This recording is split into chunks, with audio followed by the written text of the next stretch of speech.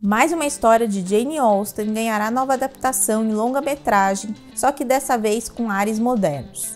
Estamos falando de Anne Elliot, a heroína do livro Persuasão, o último romance escrito por Austen.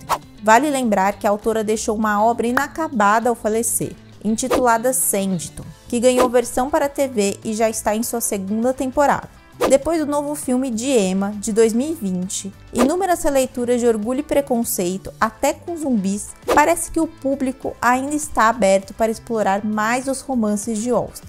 Desta vez, a Netflix comanda a adaptação que será protagonizada por Dakota Johnson. A atriz é conhecida pela franquia 50 Tons de Cinza, e a estreia do filme está prevista para 15 de julho de 2022. Em uma das histórias mais maduras da autora, Anne é uma jovem quando conhece o amor de sua vida, mas devido às pressões de sua família, ela decide não prosseguir com o romance.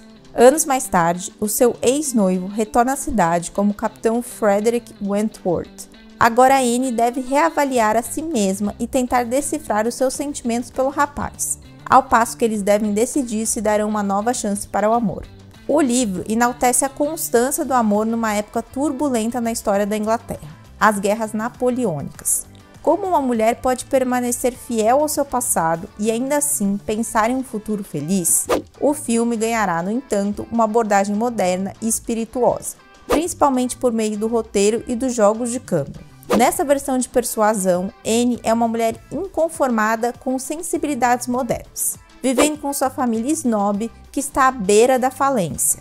Anne deve escolher entre deixar o passado para trás ou ouvir seu coração quando se trata de segundas chances, diz a sinopse oficial. Em uma entrevista à Vogue, Dakota Johnson revelou mais detalhes sobre o projeto. Fui atraída pela linguagem e temas ocasionalmente modernizados. O roteiro falando diretamente para o público e o fato que uma mulher com força de vontade continua sendo um tópico de discussão nos dias de hoje. As gravações aconteceram em Bath, na Inglaterra, onde Austin viveu de 1801 a 1806. No elenco, Cosmos Jarvis interpreta Frederick e Harry Golden, Mr. Elliot, o novo pretendente de Anne.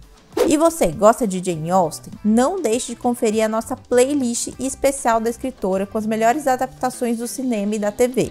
E aproveita para se inscrever no Pop Séries não perder nenhuma novidade. Eu te espero no próximo programa. Até lá!